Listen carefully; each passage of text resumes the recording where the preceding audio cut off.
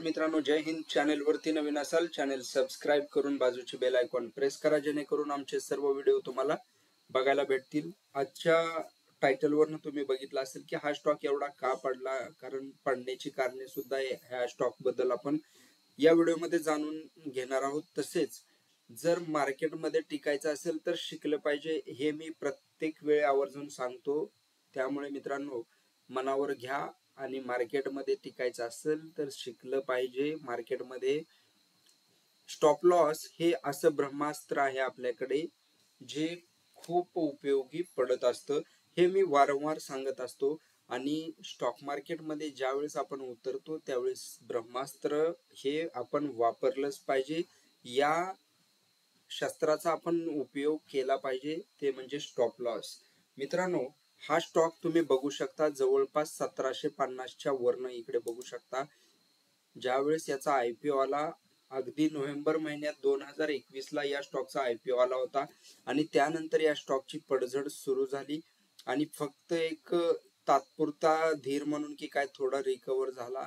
आणि परत जी पडझड चालू आहे ती आतापर्यंत या स्टॉकची पडझड चालूच आहे. आणि त्यावरती जखमेवरती मीठ म्हणल्यासारखं की आरबीआयनं या याच्या जी बँक आहे त्या बँक म्हणजेच पेमेंट बँक आहे त्या बँकेचं ऑडिटचं काहीतरी मध्येच आदेश काढला आणि काल परवाची न्यूज होती आणि त्यामुळे या स्टॉकमध्ये परत खूप मोठी पडझड झाली.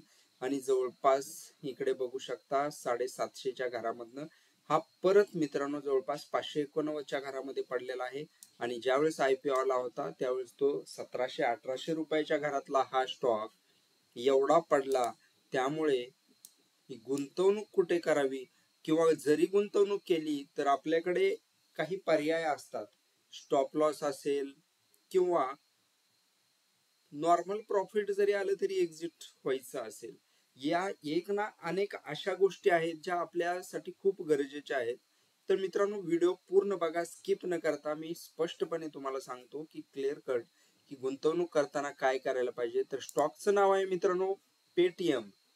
One ninety communications limited. मित्रांनो तुम्ही बघितलं असेल पेटीएमची जी ही सुरुवात झाली अगदी आयपीओ चोवीस नोव्हेंबर इकडे बघू शकता ज्यावेळेस नोव्हेंबर महिन्यामध्ये आयपीओ आला आणि हा स्टॉक लिस्टिंग झाला त्यावेळेस इकडे बघू शकता हायेस्ट याने फक्त एकोणीसशे पंचावन्न लावला आणि पाचशे चौऱ्याऐंशी रुपयाचा लो लावलेला आहे इकडे बघू शकता. सतराशे बावन्न वरनं इकडे खाली गडगडाट जो झाला मित्रांनो आणि आजच्या दिवशी जर या स्टॉकचं तुम्ही बघितलं असेल तर जवळपास एका दिवसामध्ये सहाशे त्र्याऐंशी वरनं हा स्टॉक पाचशे ब्याण्णव रुपयाच्या घरामध्ये क्लोज झालेला आहे मित्रांनो. एवढी मोठी पडझड झालेली आहे.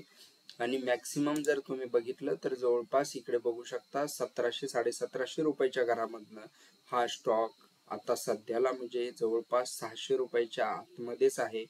एवढी मोठी म्हणजे पडझड झालेली आहे.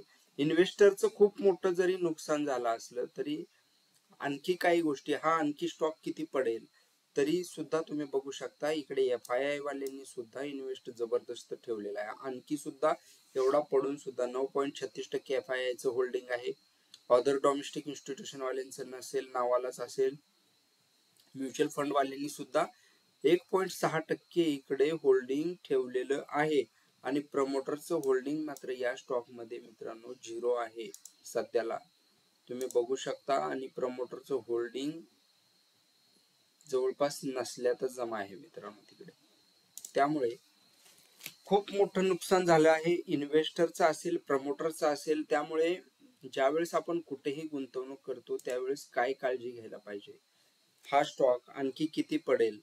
किंवा कधी रिकवर होईल. तर मित्रांनो एक गोष्ट असते की ज्यावेळेस एफ आय आय असेल डी आय आय असेल किंवा मोठे इन्व्हेस्टर असतील ते या स्टॉकमध्ये आता जर बघितलं एक एक्झाम्पल म्हणून घ्या की ज्यावेळेस स्टॉक कुठलाही पडतो आणि जर ती कंपनी आपल्यावरचे काही नियमाचं उल्लंघन झालं म्हणाल किंवा आरबीआयने जे काय आदेश दिले असेल ते त्यासाठी जर त्यांनी प्रूफ करून दाखवलं की हे चुकीचं आहे तर मात्र हा स्टॉक परत बॅक बाउन्स होऊ शकतो.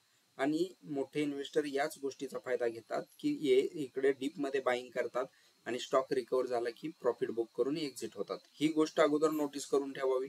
त्यामुळे या स्टॉकमध्ये आता येणाऱ्या काळामध्ये कंपनी काय ऍक्शन घेते? पेटीएम त्याचे फाउंडर काय करतात? सीओ जे आहेत हे बघणं खूप महत्वाचं आहे. पण जे नवीन ट्रेडर्स आहेत स्मॉल इन्व्हेस्टर आहेत किंवा नवीन इन्व्हेस्टर आहेत त्यांनी एक गोष्ट लक्षात ठेवायला पाहिजे एक तर एवढ्या मोठ्या प्राइसच्या आयपीओ ला अप्लाय करायचा नाही. अवॉइड केलं तरी चालेल. आणि दुसरी गोष्ट जरी अप्लाय केला तर मिळालेलं प्रॉफिट घेऊन एक्झिट होणं चांगलं. दुसरी गोष्ट स्टॉप लॉस असा अस्त्र आहे आपल्याकडे. ब्रह्मास्त्र म्हणावं लागेल त्याला. ते यूज करणं गरजेचं आहे. एक झेपेल एवढी रिस्क घेणे गरजेचे आहे. अभ्यास करणं गरजेचं आहे. रिसर्च करणं गरजेचं आहे. या गोष्टी जर तुम्ही कराल मित्रांनो तर खूप फायदेशीर ठराल. आणि कुठेही तुम्ही बघा मार्केटमध्ये टिकायचं असेल तर शिकलं पाहिजे हे मी प्रत्येक वेळी सांगत असतो. शिकण्यासाठी छोट्या छोट्या ट्रेडिंग करणंच गरजेचं गरजेचं नसतं. तुम्ही पेपरलेस ट्रेडिंग करा प्रॅक्टिस करा ग्राफचा अभ्यास करा. या सर्व गोष्टी जर केल्या तर तुमचं होणारं नुकसान नक्की टाळू शकतो. येणाऱ्या कालावधीमध्ये पेटीएमचा स्टॉक कसा रिकवर होईल किंवा त्यामध्ये आणखी करेक्शन किती येईल हे सुद्धा बघण्याचे म्हणजे गरजेचं आहे. का आणखी इकडनं तो तीनशे रुपयाकडे वाटचाल करेल अडीचशे रुपयाकडे वाटचाल करेल हे सुद्धा बघणं गरजेचं आहे. का इथनं बॅक बाउन्स होईल? कंपनी कितपत आता आपल्या याच्यावरती खरे ठरवेल? म्हणजे त्यांचे जे काही आरोप प्रत्यारोप झाले असतील किंवा कुठलं त्यांच्याकडनं उल्लंघन झालं आहे हे ते सिद्ध करून दाखवतील. हे बघणं म्हणजे झालं नाही हे सिद्ध करून दाखवतील. हे बघणं गरजेचं आहे. पण कुठेही इन्व्हेस्ट कराल त्यावेळेस मात्र मित्रांनो काळजीपूर्वक गुंतवणूक करावी ही विनंती. रिसर्च करावा अभ्यास करावा झेपेल एवढीच गुंतवणूक करावी ही विनंती. तर बघूया पेटीएमचं येणाऱ्या कालावधीमध्ये स्टॉकमध्ये कितपत म्हणजे करेक्शन होतं की रिकवर होतो हे सुद्धा आणखी बघणं गरजेचं आहे. व्हिडिओ आवडला असेल लाईक कमेंट शेअर करा. आपल्या मित्रांना सुद्धा व्हिडिओ शेअर करा. धन्यवाद. जय हिंद.